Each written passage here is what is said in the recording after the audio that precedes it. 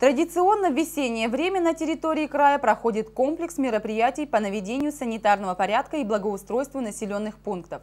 В этом году, согласно распоряжению губернатора Кубани, с 4 марта по 30 апреля проводится всекубанский двухмесячник.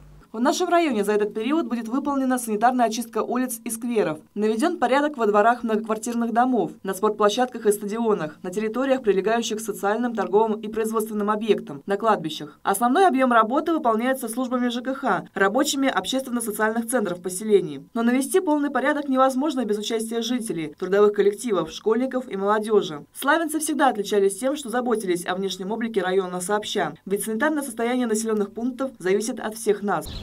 Уважаемые земляки, 4 апреля состоится Всекубанский субботник.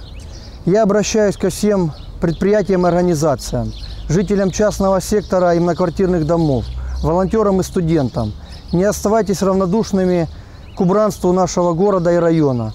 Предлагаю всем принять участие, прийти на субботник, нести свой вклад в чистоту и ухоженность наших дорог, улиц, тротуаров – Будем радоваться весне. Всем хорошего настроения, мира и удачи.